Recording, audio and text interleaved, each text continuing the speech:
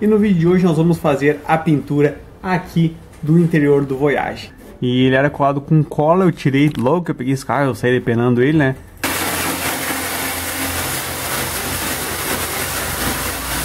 Tudo desengraxado, coloquei até uma luz ali para me apoiar.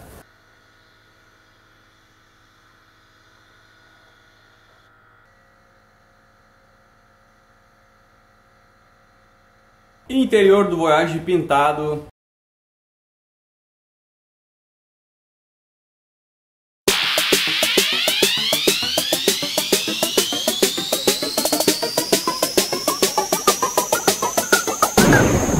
Fala galera, beleza? LB Garage na área, começando mais um episódio do Projeto Voyage, o carro que eu paguei 800 reais e no vídeo de hoje nós vamos fazer a pintura aqui do interior do Voyage. Lá nos últimos dois vídeos vocês viram a pintura aí, ó, do cofre clean que ficou um espetáculo, né? Eu gostei demais pelos comentários de vocês. Vocês curtiram também, acho que foi bem acertado a escolha ali do cofre de usar a mesma cor da carroceria. Mas aqui no interior a história vai ser um pouquinho diferente. Eu já comentei nos últimos vídeos qual a cor que eu vou usar aqui para pintar esse interior, vai ser uma cor diferente da cor da carroceria e hoje então eu preciso fazer a preparação aqui desse interior, porque ele está soltando pedaço aqui de, de ferrugem em algumas partes. Tem que tirar também cola que ficou de estofamento, de carpete, de forro, enfim. Vamos dar uma geral aqui, lixar tudo e preparar para poder fazer a pintura. Beleza? Então, mãos à obra, mas antes de começar o vídeo, já clica no gostei, se você não está inscrito, clica no botão, se inscreve e ativa as notificações para não perder os próximos vídeos. Aqui sentado no banco do motorista a gente tem essa visão. Aqui originalmente ele é colado aqueles feltrinhos, sabe? Tipo aqueles cobertor de cachorro que os caras falam. E ele era colado com cola, eu tirei logo que eu peguei esse carro, eu saí depenando ele, né? Então tem aqui ó no teto bastante resto de cola. Tem algumas partes aqui ó, como aqui ó, que tem já um princípio de ferrugem. Aqui atrás ó, a gente vê que tem espuma ó, essa espuma aqui é do acabamento que vai aqui, tem um acabamento que ele vai colado aqui. Então eles colocam essa espuma para deixar ela mais bonitinha, digamos assim. Então tem bastante resto de cola, tem que tirar cinto. Tem que fazer um trabalhinho bem extenso. O que, que eu vou fazer agora então? Vou desmanchar tudo isso aqui, tirar banco. Tudo isso aqui né, não, né? Não tem muita coisa para desmanchar. Vou tirar banco, tirar o carpete, a elétrica eu vou pendurar ela ali, vou tirar o painelzinho os farol, tem um monte de parafuso, peça aqui dentro, vou guardar tudo e vamos começar então o processo de lixamento. Aqui só para vocês entenderem, tá? Vai ser pintado daqui para cima e todo o teto. Aqui eu vou fazer, a princípio, tá? Caso eu não mude ideia, eu vou fazer uma continuação do carpete. Isso aqui vai ser forrado de carpete até lá no fundo e ali, aqui, aqui assim não sei, mas ali e aqui nas laterais eu quero forrar também fazer uma lateral personalizada. Não sei se vai ser de alumínio, se vai ser revestido de carpete, não sei, estou avaliando ainda. Mas aqui vai ser forrado. Então a pintura ela vai ficar aparecendo ali da torre para cima. Aqui no teto também eu quero que ela apareça. Então, mãos à obra, né? Pegar a escova de aço, lixo. Vamos gastar os dedos lixando aqui.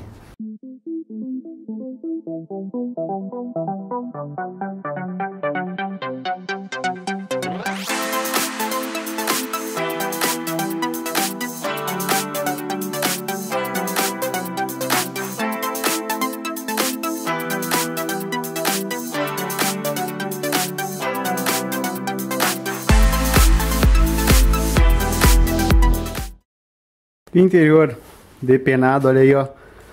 Lembra desse assoalho? Quem é da antiga vai lembrar. Esse assoalho aqui do, cara, do motorista tava todo podre. Esse assoalho aqui foi colocado um paralelo novo. E aquele ali foi feito alguns remendos ali na frente.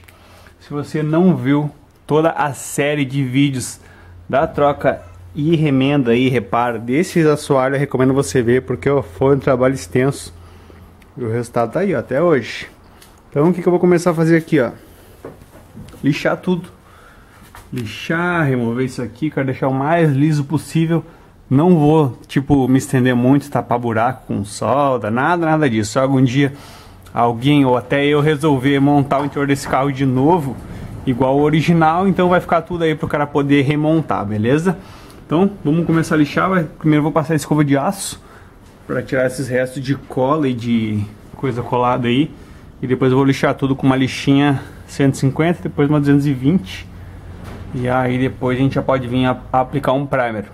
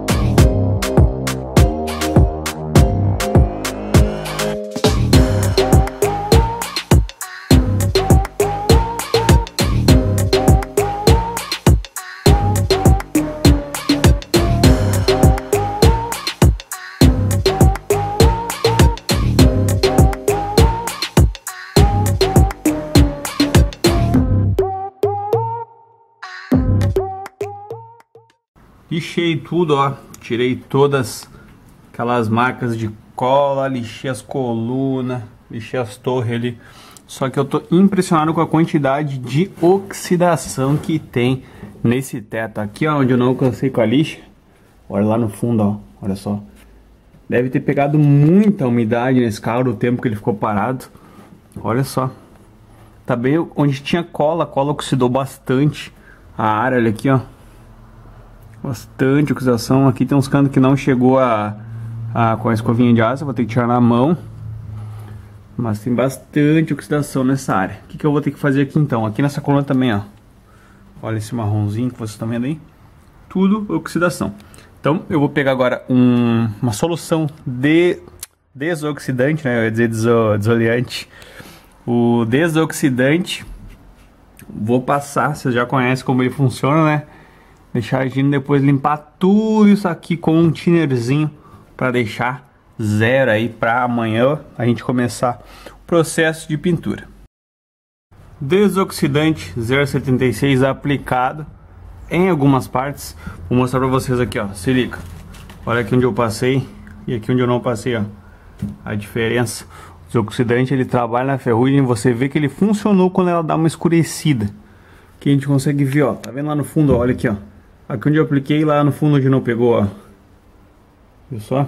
Aí depois eu vou passar um conversor de ferrugem para poder estabilizar aquela ferrugem antes de pintar com a primer. E aqui ainda falta esses pedacinhos, mas a coluna olha só como é que ficou.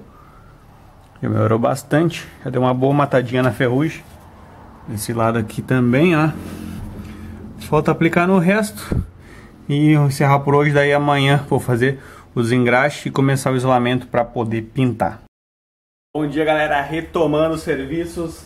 Aqui ontem eu toquei até um pouquinho mais tarde e já fiz todo o isolamento aqui do carro. O cofre aqui está imaculado, não quero que uma gotinha de tinta caia nele. E aqui então eu já fiz todo o isolamento para fazer a pintura do interior, cara. Tô louco para ver o exterior pintado também. Basta, vamos ver que cena que vai ser quando isso aqui ficar pronto, ó.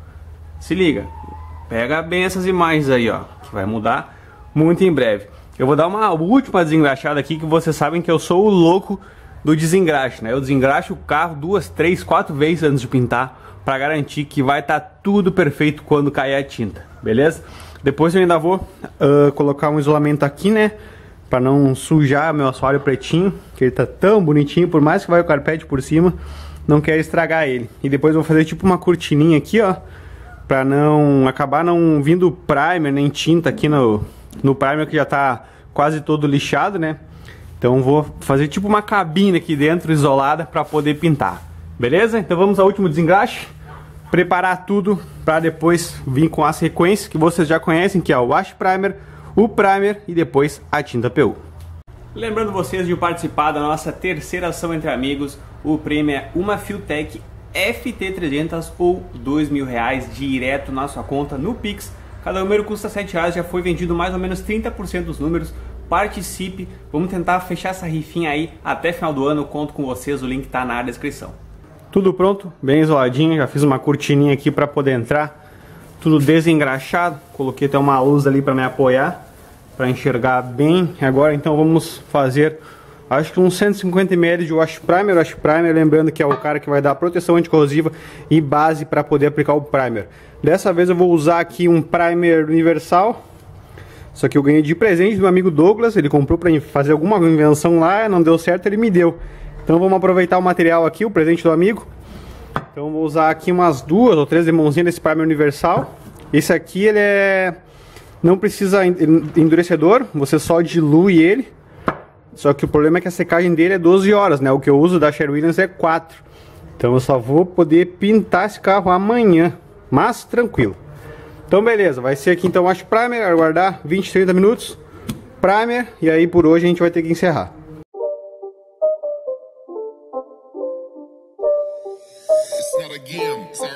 It's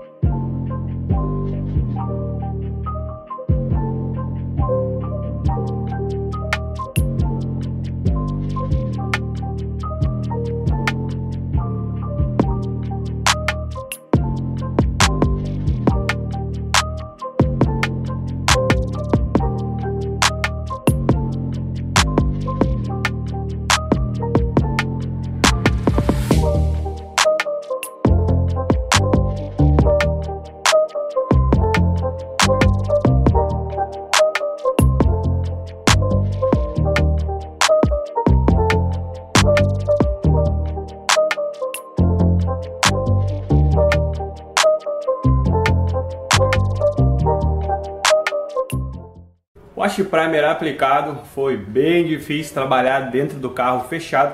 Eu ainda inventei de entrar dentro do carro sem óculos, comecei a aplicar, daqui a pouco começou a arder meu olho de um jeito que eu nunca tinha visto. Mas é para aprender a não ser teimoso. Aí eu saí, botei o óculos e resolvi. Então aqui ó, foram aplicadas duas demão de Wash Primer. Aqui tá escuro, não dá pra ver. Eu apliquei só nas partes onde tinha ferrugem e onde estava com a lata exposta, né? Que nem ali, ó. Ali estava com a lata exposta, aqui do outro lado também estava. Beleza? Então, aplicado, vamos esperar secar e agora vir depois com o primer.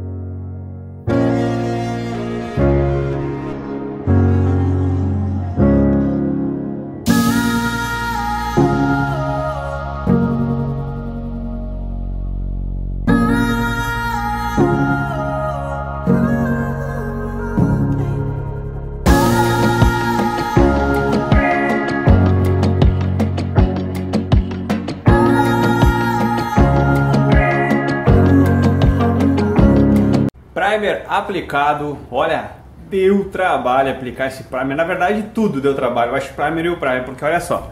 Vem dar uma olhada nisso aqui. Olha ali, ó. 29.9 graus aqui dentro da minha oficina, tá? Oficina barra cabine de pintura. Aí pensa só. Eu tava com a roupa, né? A roupa de proteção química, que como eu tava ali em cima da tinta, não tem, não recomendo vocês pintarem de manga curta, assim, de bermuda. Usem a roupa de proteção e usem óculos também, como eu falei, né? Então vou mostrar pra vocês como é que ficou esse primer. Vou mostrar pra vocês a marca aqui, ó. Eu não recomendo, viu? Não gostei de trabalhar com ele, só trabalhei porque era realmente um presente. Eu tinha aqui, ó, da marca Masa Primer Universal. Para vocês terem ideia, a diluição desse cara que eles recomendam ali é de 80 a 100%. Ele já vem pronto, é só você diluir. Mas, cara, não gostei. E o cheiro dele é muito, muito mais forte do que o Primer PU, que eu uso da Sherry Williams.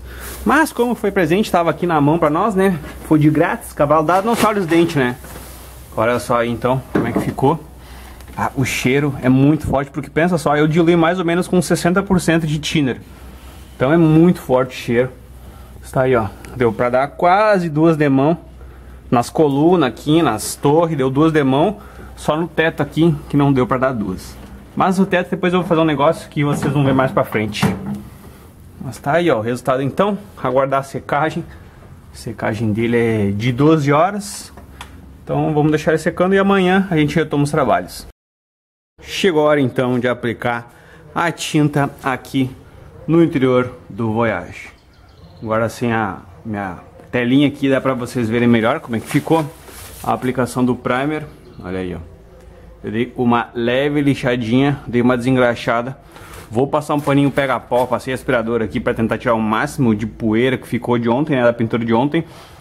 E vou passar o paninho pega-pó agora, enquanto eu preparo a tinta. E vamos proceder com a aplicação. Espero que fique bom, que não caia muito cisco. A tinta que eu vou usar vai ser essa aqui, ó o branco Summit, se não me engano essa cor é da GM, PUzinho, então aqui essa aqui é médio sólido 3 para 1 e vamos ver como é que, deixa eu abrir aqui para vocês verem, vamos ver como é que vai ficar o resultado, eu espero que fique bom. Eu pedi pro, eu comprei por telefone essa tinta, tá? Eu não fui olhar.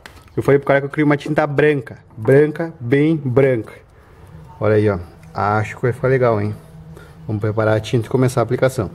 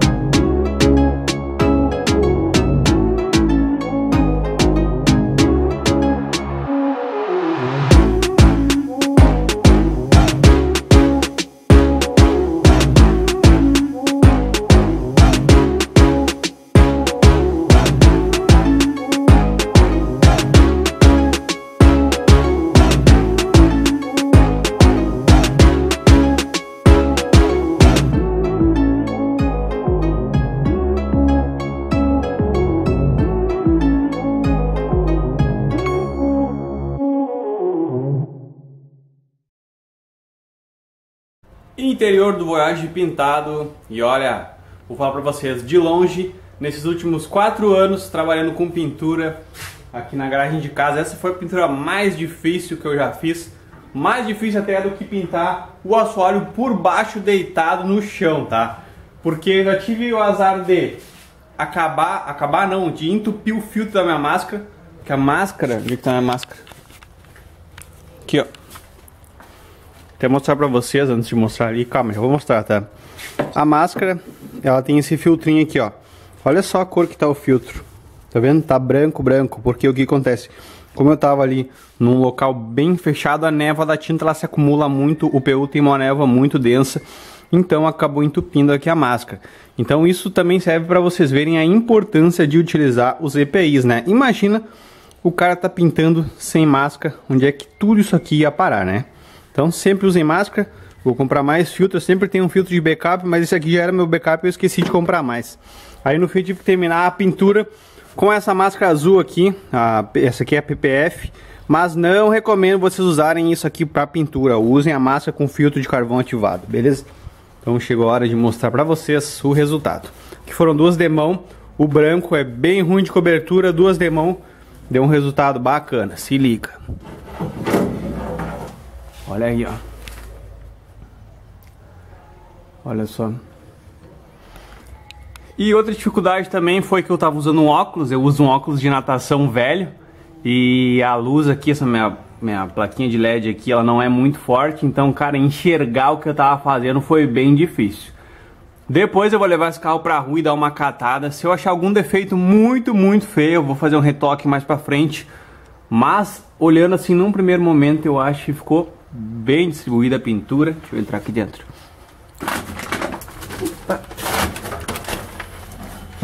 Olha aí, ó. Olha só. Olha o brilho. E, cara, me impressionei. Eu achei que ia voar muito. Olha aqui, cara. Eu achei que ia voar muito cisco. Porque, cara, querendo ou não, olha só. Tem bastante sujeira aqui. Por mais que eu tenha limpado. Mas, olha, voa muito. Aliás, até agora eu não vi quase nada de cisco. Muito, muito pouca coisa. Aqui, ó, explicar pra vocês, não foi pintado aqui, porque como eu falei, vai uma placa aqui. Então aqui eu acabei não pintando. Pintei só aqui, aqui não vai nada, ali não vai nada também. Nas torres, aqui na, nas torres tem um pouquinho de... Vocês dá pra ver na câmera ali, ó, alguns cisquinhos ali. Mas olha, olha o brilho que ficou, meu chefe. Bom, hein? Gostaram? Cara, eu curti demais esse branco aí. Eu curti demais, meu. Eu tô louco pra ver esse carro na rua e montado. Que eu acho que vai ficar muito bom, que vai clarear bastante o interior. E eu sempre sonhei em ter um carro com o interior claro. E tá aqui, ó. Eu tô realizando meu próprio sonho. É isso aí, ó. Ficou bem boa a aplicação, né? De, visto a dificuldade. Lá no fundo que eu consegui dar só uma demão. Já tô vendo lá, ó, lá em cima dá pra ver, ó. Que não pegou bem a tinta, porque na primeira demão ela não cobre legal. Esse branco, falar pra vocês, tá? Se fosse pra pintar um carro com ele, eu ia dar no mínimo 4 demão pra ficar top. Então ali no fundo, talvez mais pra frente, eu passe mais uma demãozinha. Mas aqui por dentro, fechou. Gostei bastante do resultado. E vocês, curtiram? Comentem aí. Antes de encerrar o vídeo, para quem permaneceu até o final, vou mostrar para vocês agora, sem o isolamento, como é que ficou. Eu curti muito, cara. Meu, clareou esse carro assim, ó, meu, é absurdo. É que você vendo pela câmera, talvez não dá pra ter a ideia do que eu tô tendo aqui, porque esse carro no vermelho, no Bordeaux, ele era muito escuro por dentro, cara. Clareou de um jeito assim, ó, que é exatamente o que eu queria. Gostei demais do resultado. Valeu a pena todo o trabalho, todo o suor empregado aqui no dia de hoje para poder pintar esse interior. Então é isso aí, vamos encerrar o vídeo por aqui com mais uma etapa da pintura, da reforma, quase barra restauração aqui do AGLS que eu paguei 800 reais. Beleza? Então se gostou do vídeo não esquece de clicar no gostei, se você não está inscrito, clica no botão, se inscreve e ativa as notificações para não perder os próximos vídeos. Tamo junto, até o próximo vídeo, valeu!